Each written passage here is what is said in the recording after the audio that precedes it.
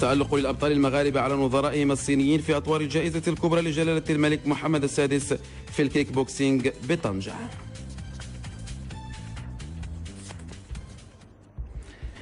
بطنجة شهدت أطوار الجائزة الكبرى لصاحب الجلالة الملك محمد السادس لكيك بوكسينج انتصارا بينا للأبطال المغاربة بحصيلة ثمان انتصارات مقابل فوزين فقط للأبطال الصينيين محمد أمين النوري وسعيد نجاح.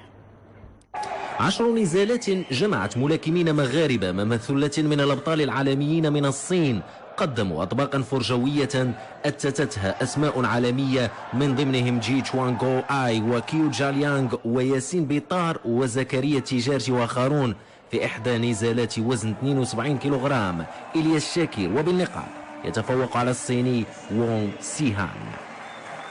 combat أنا من الأول واخدها combat صعيبة حيت الفرقه اللي جاية من الشينوا ما, ما ماشي شي فرقة سهلة فرقة عالميه وما يمكنش تستهان بها.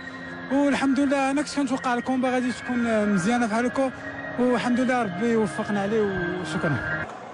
النزالات كانت سجالا مالت حينا للأسماء الصينية وأحيانا كانت الغلبة للملاكمين المغاربة.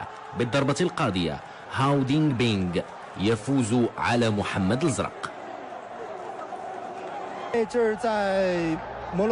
كنت سعيدا بخوض هذا النزال ضد ملاكم مغربي الشيء الذي مكنني من التعرف على إمكانيات الملاكمين المغاربة. وكانت أيضا فرصة للاحتكاك بهذه المدرسة ذات الحضور المتميز.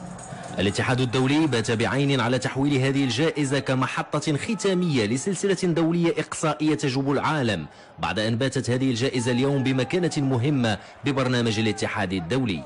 والحمد لله كيف كيشوف اليوم الجمهور الكريم مستوى تقني يعني عالي جدا.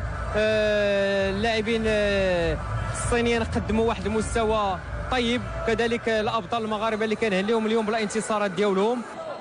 وكما كان جليا النسخة الثانية عكست تطورا تقنيا ملحوظا لدى النخبة المغربية التي أبلت البلاء الحسن أمام أحد أعتى المدارس في رياضة الكيك بوكسينج